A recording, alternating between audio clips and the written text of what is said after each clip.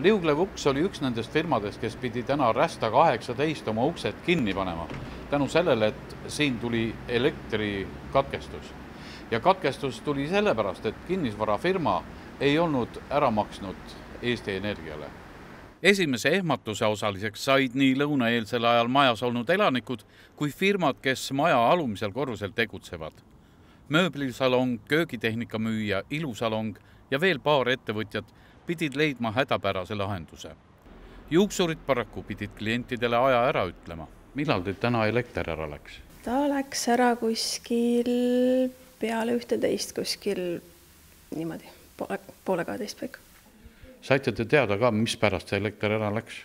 no see selgus mõne aja pärast. teatati, et uuritakse asja ja siis selgus, et äh, majahaldusfirma on jätnud arved maksmata ja elekter võeti ära no mida see teile tähendab, saate te kuidagimoodi oma tööd teha täna veel? no eriti ei saa, sest kõik on elektri peal.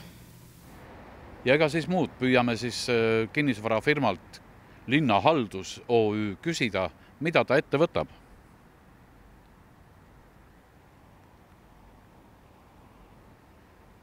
no ja, telefon, millele te helistasite, on välja lülitatud või teeninduspiirkonnast väljas. nii et tundub, et täna me seda vastust ei saa. sekretär õnnestus siiski lauanumbrilt kätte saada. juhatuse esimeest täna ei pidavat olema, sõnas ta. ka linnahaldusele olevat elektri väljalülitamine tulnud ootamatult ja nad teevad kõik, et asi ööpäeva jooksul ära lahendada. Eesti Energia kinnitas, et lülitas Rästa kaheksateist majas voolu välja, sest tegemist on pideva võlglasega, kes kokkulepetest kinni ei pea Eesti Energia kinnitas, et võlgnevusi esineb ka teistel ettevõtte hallatavatel objektidel.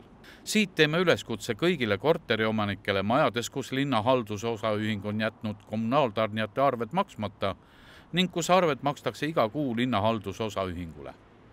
kirjutage meile sellest aadressil uudised at tallinnatv.eu. ei ole välistatud, et kommunaaltarnijate viivisarved kirjutatakse elanike kommunaalarvetele üldelektri, üldvee ja prügiveo alla ning elanikud ei pruugi seda isegi mitte teada.